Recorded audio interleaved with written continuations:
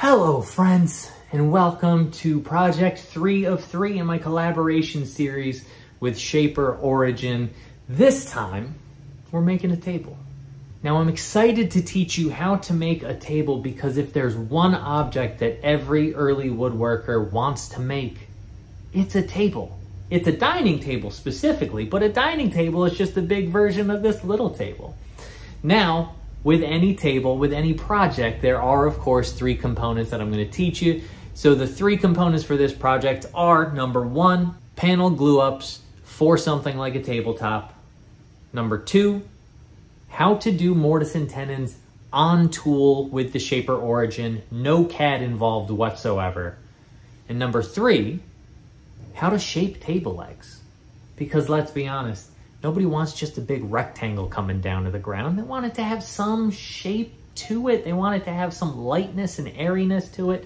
So I'm going to show you a few different techniques on how to do just that. Now, as always, let's get to it. Now, I am not going to walk you through the milling process a third time. Here's what I'll say. Here's what you need to know. The legs are milled to two inches square. 24 inches long, and all other components are milled to 7 eighths of an inch thick. You can get the dimensions on the file that I will provide for you. Just make sure, as always, everything is straight and square because all of your joinery on the origin is going to be referenced off of those edges. Now the first thing we're going to do is a panel glue up for our top. No matter how large or small your tabletop is, do pay attention to the grain orientation. Again, because this is the thing that folks are going to see when they look at your table. So this tabletop is 18 by 18. So what I've done is I've split this into three six inch wide boards and that will give me some uniformity without doing something like a book match or doing something from a single slab, which is what I do in the more advanced table.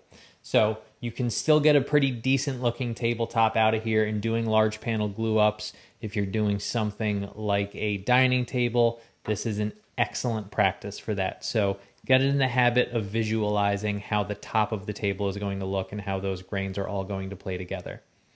Now, how many clamps you need in order to clamp a tabletop like this is entirely subjective.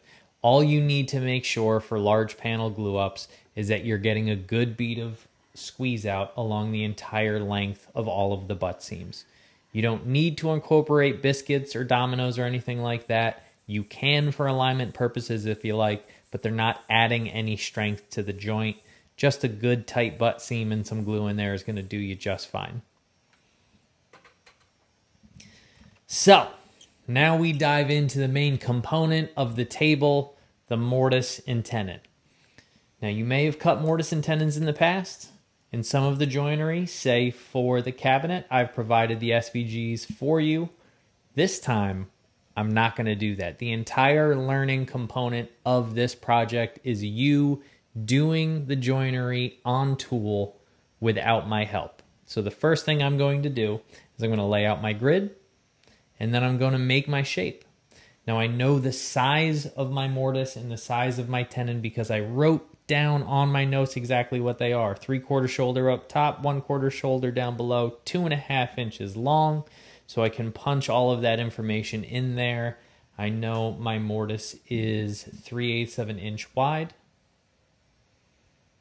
And then I can make it two and a half inches long.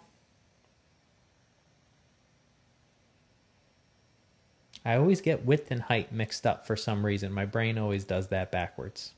But once I have it locked in, I can go ahead and punch in my radius, which is 1 8th of an inch. Again, because I'm using a quarter inch diameter bit. And then I can place it appropriately, which is 3 quarters of an inch in from the end and quarter inch in from the face. Place it and then I can go get ready to cut. Now, this is a rather deep tenon. These are about an inch and a quarter. You can shorten them up to one inch. That's totally fine. Uh, you're not going to lose that much strength on there. But then you just need to mess around with the best way to relieve the shoulder. What I did was I created a pocket and then I did a loop around the perimeter and that gave me all of the material I needed and everything looks excellent on my poplar prototype. So now it's time to go cut all of my pieces in ash, which is what my final project is going to be made out of. Same process.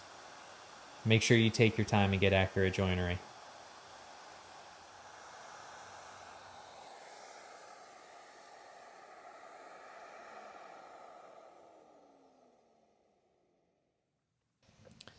Then I'm going to get prepped to cut all of my mortises and just by switching out for the horizontal work surface, but I'm still going to use the clamps to keep it clamped in place. And then I'm just going to make the exact same shape I just did and place it in the appropriate location, three quarters of an inch down, three eighths of an inch up so that I have a slight shoulder on the inside of my leg. And then I'm going to cut my, my mortises. Super simple process, just the same as cutting the tenons. A little bit easier than cutting the tenons, in fact, because I don't have to cut the shoulders.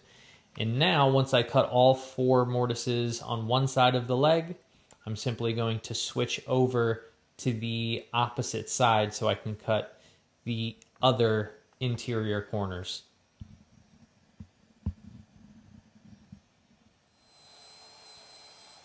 I go ahead and I make another cut. Same exact process, just the opposite side of the leg. And then I give it a test fit and make sure everything lines up.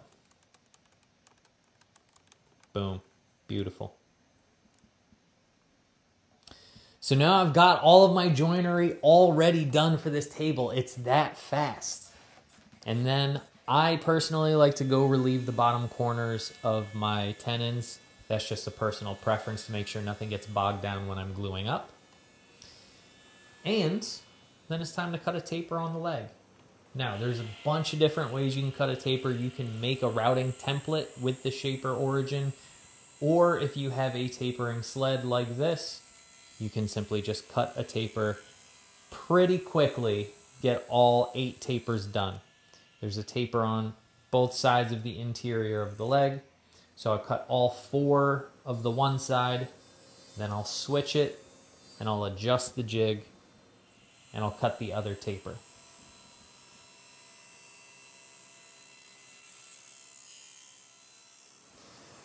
And it's time for a final sand. I mean, this project moves, man. It's a very simple little build, trying to wrap your mind around the joinery specifically. And here's a quick little tip for you. When you're sanding smaller parts like these legs, you can go ahead and gang them up and sand two at a time to give you a wider work surface to make sure you're not rounding anything over. Then it's time to just treat the corners, break the arris with a hand plane. You can do so with a sanding block as well, depending on your comfort level with hand tools and or your shop arrangement. And now the glue up is something I do want to talk about because gluing up a table like this is generally done in two stages. So what I'm doing is I'm gluing up an A-frame, meaning two legs and one apron. I'm going to glue up two of those individually.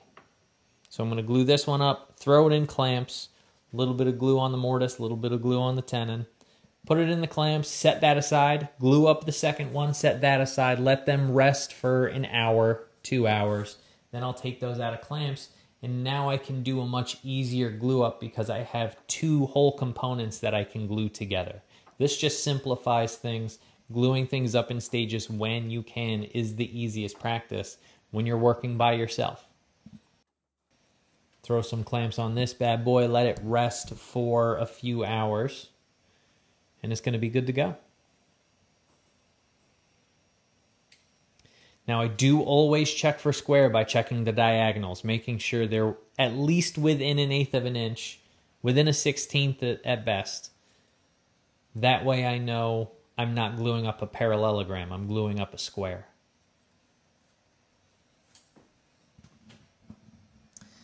And now once everything is out of clamps and sanded up and cleaned up, it's time to attach the top. So what I'm using to attach the top in this case is a figure eight clip which is something that you can purchase on the internet at your big box stores. It's just a little piece of stamped steel that allows wood to move and breathe, and it's a really easy installation for a table like this. You just drill a hole, pop in some screws, and then you can screw your tabletop to your apron with ease. Something that's highly recommended for a learning project like this.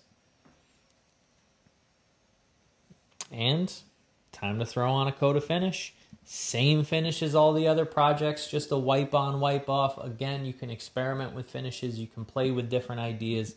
You can see what you like best, whether it's a, a wipe on, a spray on, a oil based, a water based, whatever makes you happy.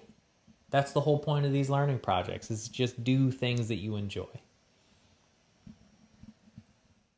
Now, I don't know if I've ever experienced a faster way to lay out and cut mortise and tenons to create a side table than with the Shaper Origin. That is money. Now, side table number one is done. I do want to show you a few of the techniques that I use to create the more advanced table. The joinery specifically is quite complex, so I'm going to walk you through that and then a different technique for shaping the legs. So let's get back into it. So the first thing to discuss is how to make the tenon on this double split tenon joint. Uh, I started off with the table saw with a drag cut to make the cheeks and make sure you get yourself a nice pair of calipers for this one. If you're going to attempt this joint, these things have to be absolutely perfect. A nice pair of digital calipers is really going to be helpful. Then I'm going to create both the top and bottom shoulders, again using the drag cut, quarter inch on the bottom, three quarters of an inch on the top, just like the other mortise and tenons that we did before. And then I'm just going to split it exactly in the middle with a tenoning jig and a table saw blade. That wedge is 1 8th of an inch, so a standard table saw blade is going to be perfect. Then I'm going to go to the bench and round over my tenons using a rasp, a file perchance, maybe some blade work, whether that's a chisel or a plane, and then using a strip of sandpaper like this, I found to be really, really helpful in order to get those interior cuts. But now comes the complicated part this mortise. So you see this jig that I made. I'm not going to go over how to make the jig. It's very simply 245s. That's going to allow me to hold that leg on peak. So that took probably about a half a day to make. But once it's made, that's really, really key that you make that accurately. And I'm going to start to cut the mortises on either side of the arris. So the exterior part of the joint is what I'm going to cut first going to cut both of these all the way down in quarter inch increments all the way down to one and a half inches, which is really deep, but you can get there if you go slow. Once I have these cut and everything looks good and clean, and they do, I'm going to flip it over 180 degrees, reinsert it back into the jig, and now I'm going to start to cut the interior portion of this joint. So the first thing I'm going to do is to cut the shoulder, which is 5 eighths of an inch deep. And I'm going to come down again in quarter inch increments with the pocketing operation. I'm just going to remove material nice and slowly all the way till I get down to 5, 5 eighths of an inch. Now for the interior single mortise, that's another 5 eighths of an inch down. So I'm going to take my time and pocket that out, remove all of the material with an inside cut. And in the end, I should have something that looks like this. It's essentially a three-stage mortise. And then if all is well and right with the world, you should get a crisp, clean fit like this. It's going to take some practice, but you'll get there. Now on to shaping the legs in a different manner. Uh, I wanted to add some curvature to this table, just a little bit of subtle line to the leg to give it some zhuzh, you know, bring it up a little bit. And so I cut this template out at the bandsaw just to then take it to the bench and clean it up with some hand tools to make sure it has a little bit of subtle curvature to it. I'm going to rough this out with a pencil onto my legs that all have the joinery done. And then I can take it to the bandsaw and I can remove the bulk of the waste. I'm going to stay outside my line about a 16th of an inch. A little bit less if I can get close to it. And just remove all of that waste. And then I can take it to the router table. Now you're going to need a big bit for this. I'm telling you right now, you're going to need a tall bearing bit. But if you get one, then I can use the template to route this curve clean and you can get a really nicely shaped leg. I'm going to do both sides with the template on the outside of the leg, on the flat side of the leg both times. Then I'm going to remove the template. That's going to buy me a half inch, and I'm going to clean up that last little bit that the router bit couldn't reach. And boom, I got a beautiful little leg. Now it's time to just do some detail work. Again, touch up the arris, uh, make sure that you're paying attention to all of the details around the joint because this is really the visual focal point of this table. Do a little bit of surface work. I'm going to do all of my surface prep before I do the half lap that connects the aprons because once you remove material, you're going to loosen up that half lap. And that's a really key component to the strength of this table. If that half lap is loose, you're gonna have a wobbly table. Adding some light curvature to the aprons, again, just to match the curvature of the leg. Now I'm treating the ends of those tenons in order to give them a little bit of flare as they are poking through the outside of the leg. And the glue up on this, honestly, was really quite simple because you're gluing up one leg at a time. There's nothing connecting each leg, making it imperative that it all gets glued up simultaneously. So gluing up one joint at a time, making some clamping cauls that span over the protruding tenons, being able to clamp that together. It was a pretty simple glue up. Then once you get all four glued up, go ahead and glue up the half lap. Just drop a little glue in there, spread it around, and throw a clamp on it. Let it dry for a couple hours. Again, all of this gluing up is done in stages, and all of it was very easy comparatively. And once that's dry, it's just cutting the tabletop to fit. Now I wanted this tabletop to just overhang the exterior of the leg by about a quarter of an inch in any direction so that when I put an edge profile on this table, it just swoops right in to almost kissing the exterior of the corner there. Break out the old hand planes, give it a little bit of hand touch.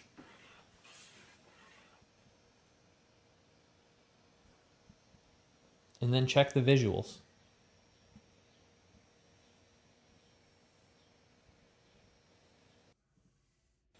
And frankly, I really like the way this table came out. I think it's a really, really pleasant little object.